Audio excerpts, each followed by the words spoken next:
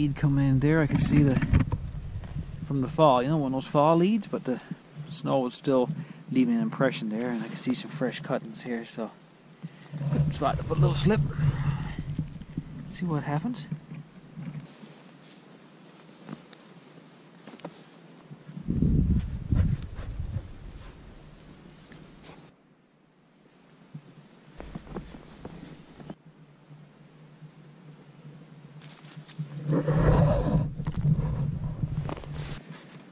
Okay, looks like we have a bit of luck here.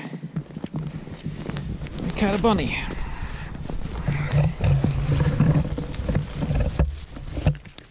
Must have got in early last night.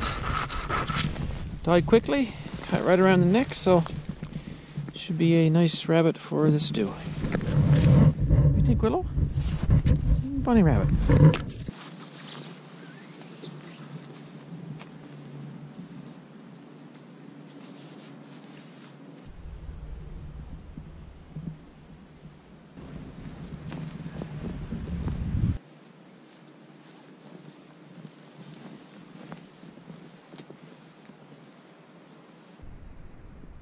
Alright, so I got the rabbit all cleaned up there. Uh, really nice looking rabbit. Fall, early rabbit, I'll call it. And uh, just washed it all off. And got the back legs here in the back, uh, the front two legs, the rib cage, and of course the uh, two kidneys in the heart. So we utilized all of this rabbit. So what I'm going to put in here next is just a collection of uh, carrot, turnip, uh, potato, and onion go ahead and just put these vegetables right on top. I put no seasoning whatsoever on this. This is the simplest rabbit stew you'll ever make.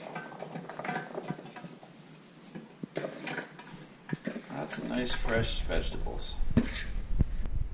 Okay, I pick up these uh, little packets for Clubhouse is the brand. It's for slow cookers for beef stew, but of course it works on everything else, moose or uh, caribou stews or rabbit stews, whatever you want. I use it for ptarmigan as well. So you just take one of these packs. This is the only spice we're going to put on this now.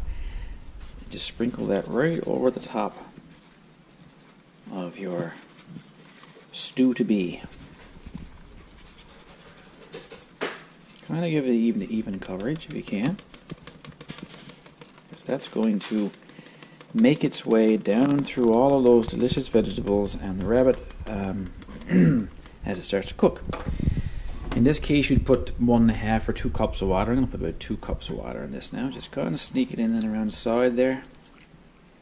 Just that moisture works its way up around the vegetables and uh, it'll make all of the spices work their way back down through.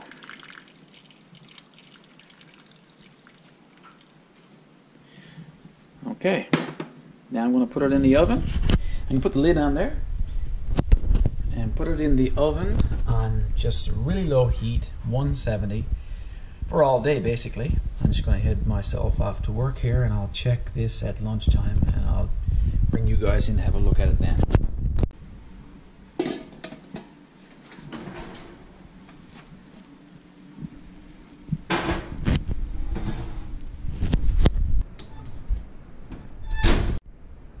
Okay, it's uh, lunchtime looking pretty good. It's been uh, cooking for about three and a half hours now on 170. Um, supper's not going to be, of course, for another five hours or so, so we'll just let her simmer along like she is. And uh, then we're going to put a little surprise ending to this to make it look and taste even more delicious. So stay tuned.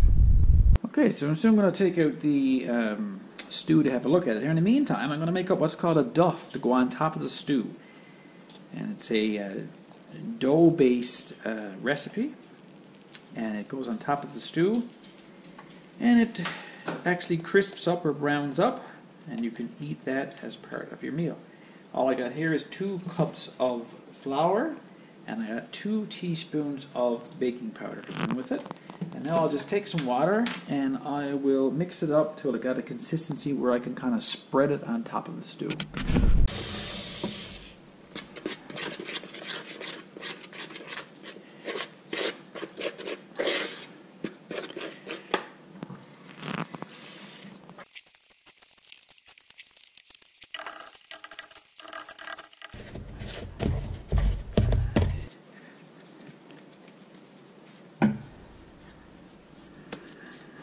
Now starting to take shape.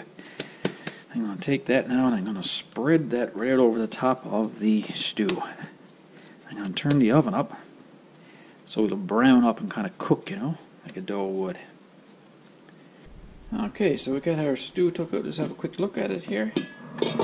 Oh, it's good. Give it a bit of a stir at this point. It's the first time I've stirred it since I uh, put the seasoning on this morning there. So we'll give it a good old stir now. Except for the meat. We'll leave the meat on the bottom.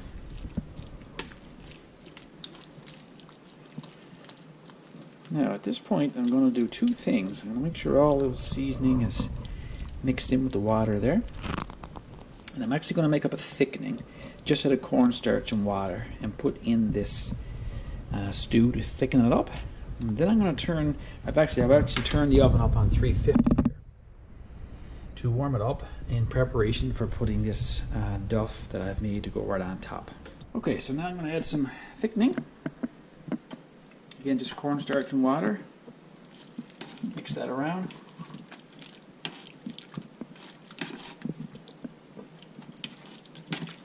And I can see it's starting to get thick already, and it will thicken up even more once the heat strikes it here. Oh, I can see that rabbit is starting to look really good and tender. Now, I'm even going to pop in a little bit of gravy browning here. If you like your stew a bit darker, nothing wrong with throwing a bit of that in there. Plus, it adds a little bit of flavor to it as well. So we're mixing that browning, gravy browning. All right, oven is just about warmed up, so now we're going to put on this duff. right over the top here like this. Kind of spread it out a bit.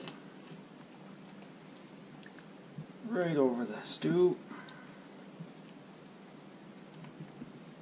Doesn't have to be perfect.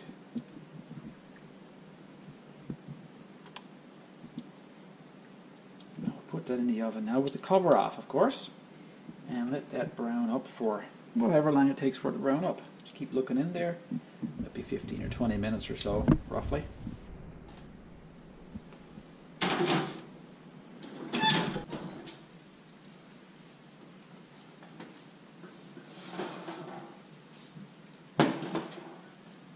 Okay, so the duff turned out just nice.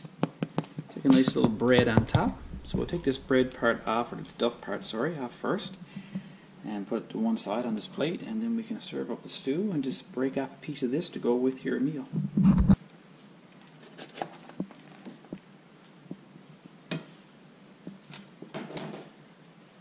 Okay, that's what it looks like now with the duff taken off of it. I just stirred it all up and you see the rabbit came to the surface there so it's all tender and now it's time to serve some up in a bowl with a little bit of duff.